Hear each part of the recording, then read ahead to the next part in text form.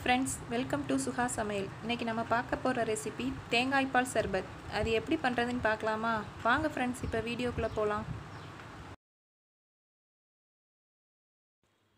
Friends நீங்கள் இந்த சேனலுக்கு புதுசாக வந்திருந்தீங்கன்னா கீழே உள்ள சப்ஸ்கிரைப் பட்டனை ப்ரெஸ் பண்ணுங்கள் பக்கத்தில் உள்ள பெல் ஐக்கானை ப்ரெஸ் பண்ணுங்கள்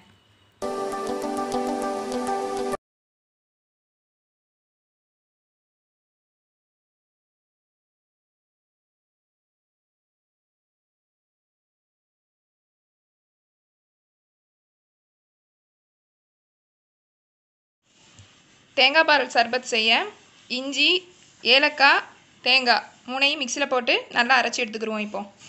இப்போ தேங்காயை நல்லா அரைச்சாச்சு. இப்போ இதை நம்ம பால் எடுத்துருவோம்.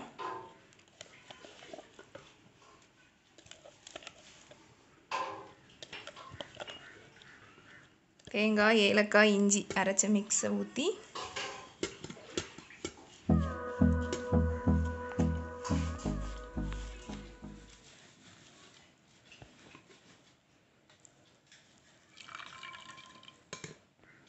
பால் எடுத்தாச்சு.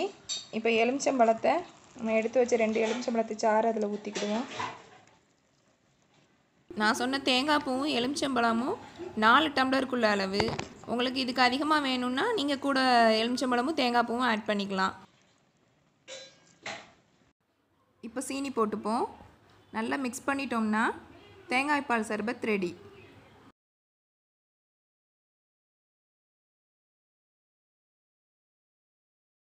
பால் சர்பத் ரெடி. இது ரொம்ப டேஸ்ட்டாக இருக்கும். இந்த வெயிலுக்கு ரொம்ப இதமாக இருக்கும்.